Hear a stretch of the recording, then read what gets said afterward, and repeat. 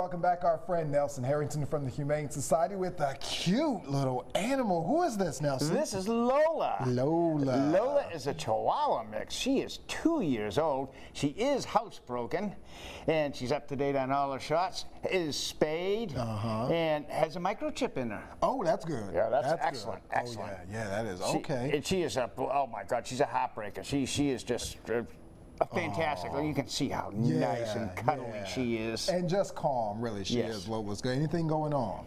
Well, we'll, begin, we'll be at a nationally known pet store Mm-hmm. down just off of Arlington Boulevard at that at one of the plazas. Okay. And you can hop on our uh, Facebook and Mm-hmm. or our webpage and find out the times and the exact location. We do have a Fluff and Puff coming up in a couple of uh, weeks. Mm-hmm. Oh, that's good. September 12th, the Fluff and Puff uh, on the corner of 14th and Greenville Boulevard at a Okay. huge church down there. and for more information, you can always head to their social media pages too. HSECarolina.org is their webpage. They have a Facebook page, and then 252 413 7247. Whatever Lola wants, Lola gets. So and come we'll get Lola. Friday, Saturday, Sunday, 1 through 5. Lola!